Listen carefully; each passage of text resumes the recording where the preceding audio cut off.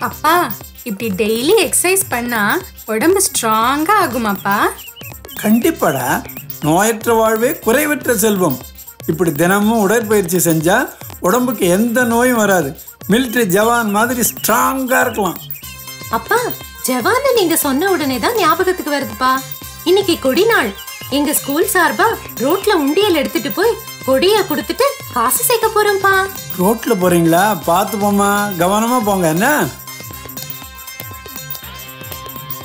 இந்தா பூஜா நூறு ரூபாய் நம்ம குடும்பத்துக்காக கொடி வாங்கிட்டு வா. தேங்க்யூம்மா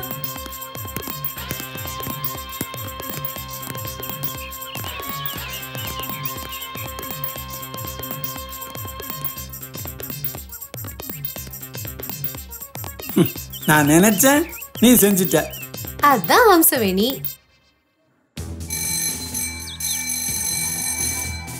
மாணவர்களே நமது நாட்டை காக்கும் போர் வீரர்களின் நலனுக்காக இந்த கொடி நாள் கொண்டாடப்படுகிறது. வழக்கம் போல இந்த வருஷமும் கொடிநாள் வசூல்ல நம்ம பள்ளிக்கூடம் தான் முதலிடம் வைக்கணும் ஒரு உண்டியலுக்கு ரெண்டு பேரா சென்று பொதுமக்கள் கிட்ட வசூல் செஞ்சுட்டு வாங்க. என்ன? செய்வீங்களா?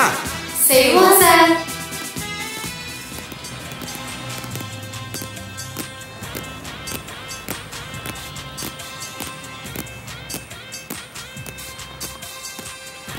செல்வம் நம்ம எல்லாம் சேர்ந்து ஒண்ணா போலாமா? வேணாம் வேணாம். நீ இப்படிக்கா போ. நாங்க அப்படிக்கா போறோம். என்ன எங்க வசூல்ல பங்கு போடலான்னு பாக்குறியா நீ? சரி சரி. தேஜா நீ வாடா. நாடாது. பிச்சைக்கார மாதிரி உண்டியல கையில கொடுத்துட்டு அமிச்சிட்டாங்க. ஸ்கூல் லீவ் விட்டா ஜாலியா இருக்கலாம்னு பார்த்தா செம போர்டா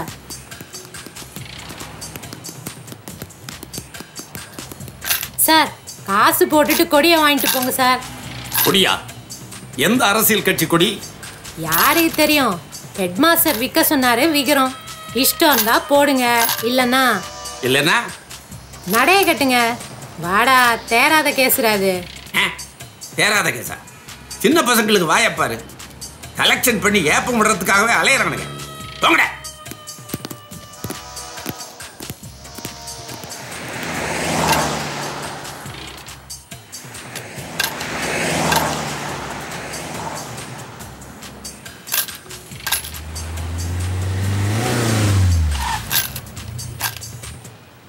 சார் கொடி நாள் சார்.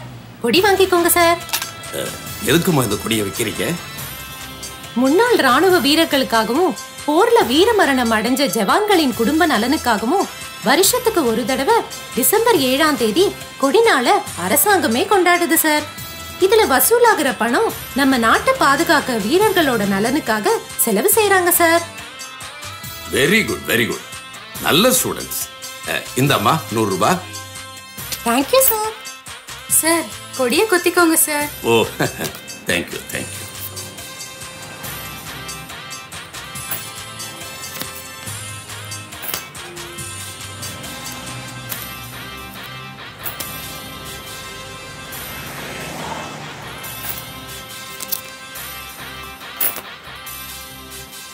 இன்று கொடிநாள் வசூலில் திருவள்ளுவர் உயர்நிலைப் பள்ளி சாதனை படைத்தது.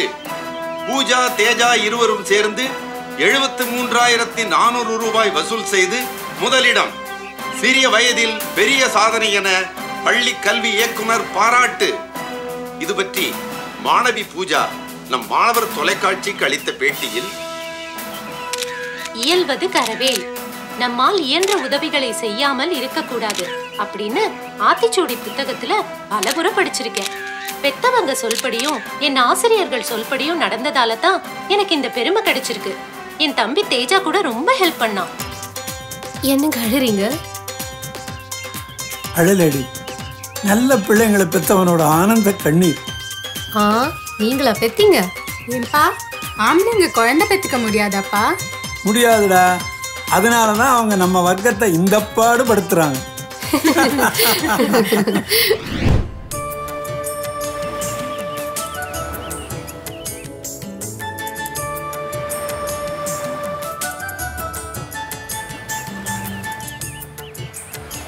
பாலும் தெளிதேனும் பாகும் பருப்பும் இவை நான்கும் கலந்துணக்கு நான் தருவேன். கோலம் செய் துங்க கரிமுகத்து தூமழியே நீ எனக்கு சங்கத்தமிழ் மூன்றும் தா. பூஜா தேஜா சாமி கும்பிட்டாச்சுன்னா சீக்கிரம் வாங்கம்மா. டிஃபன் சாப்பிடணும். ஸ்கூலுக்கு போக நேரமாச்சுல? இதோ வந்துட்டோம்மா. வாடா Teja.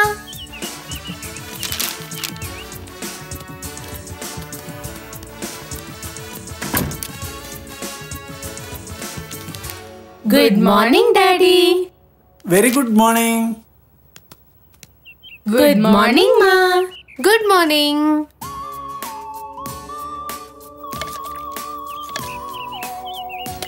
இன்னைக்கு என்னம்மா டிஃபன் தோசை தானே? சாரி பூஜா. இன்னைக்கு உன் தம்பிக்கு பிடிச்ச இட்லி செஞ்சுட்டேன். நாளைக்கு உனக்கு பிடிச்ச தோசை. ஓகேவா கொஞ்சம் அட்ஜஸ்ட் பண்ணிக்கடா. பரவாயில்லம்மா.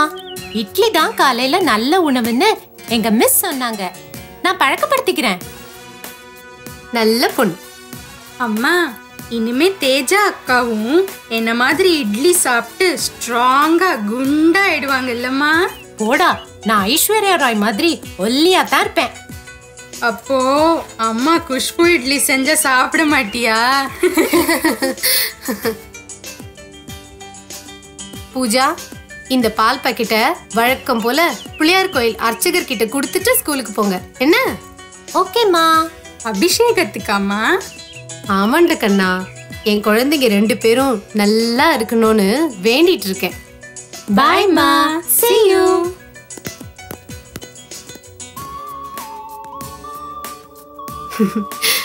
என்னங்க நம்ம குழந்தைங்க ரெண்டு பேரும் ரொம்ப நல்ல பிள்ளைங்க இல்ல? எல்லாம் அம்மா சரியா இருந்தா குடும்பமே நல்லா இருக்கும் அம்சவேணி. ஆ? ஏன்? நீங்க மட்டும் என்னவா? விளையாட்டுக்கு கூட நீ என்னை விட்டு கொடுக்க மாட்டியே. அதுதான் என் அம்சவேணி.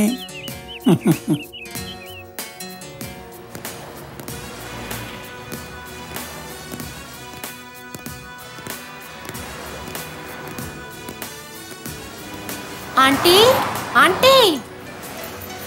யாரு? பூஜாவா? ஆமா ஆண்டி. செல்வம் ஸ்கூலுக்கு கிளம்பிட்டானா? அவன் உங்க மாதிரி நேரத்துக்கு ஏஞ்சு குளிச்சு ஸ்கூலுக்கு கிளம்புறோனா பையன் அவன். ஆ? எருமை மாதிரி எட்டு மணிக்கு ஏந்து இப்பதான் குளிக்க போய்க்கிறான். பைப்ல தண்ணி கூட நின்று போச்சு. பாத்ரூம்குள்ள கிணத்துல விழுந்த காக்கா மாதிரி முழிச்சு நிக்கிறான். அவன் இப்ப எங்க வரப்போகிறான் நீங்க போங்க. செல்வம் டேய் நான் தாண்டா நீ பாத்ரூம்ல பண்ணி நிக்கிற?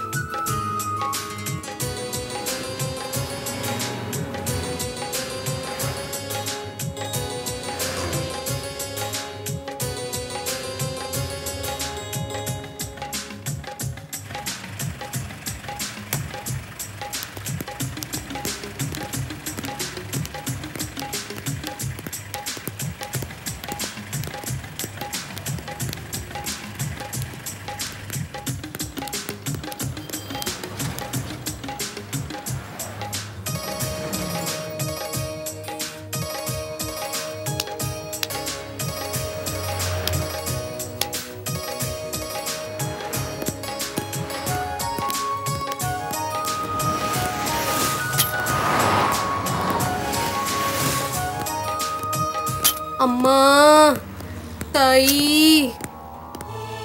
அம்மா தாயி. அந்த பாலை எனக்கு குடுமா. குழந்தை ரெண்டு நாளா பட்னிமா. பாலுக்கு அழுவுதுமா. ஐயோ பாவம். குழந்தைக்கு ரொம்ப பசிக்குதா? இந்தாம்மா இந்த பாலை வச்சுக்க. அக்கா வேண்டாம். கோயிலுக்கு அம்மா கொடுக்க சொல்லிருக்காங்கல்ல சாமி கோச்சுக்கும்.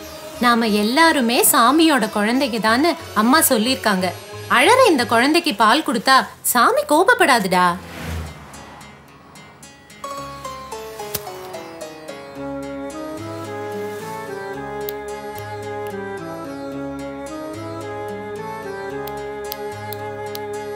வீணா கோவப்படாத குழந்தைங்க ஸ்கூல்ல இருந்து வர நேரம்தான். நிதானமா விசாரிப்போம்.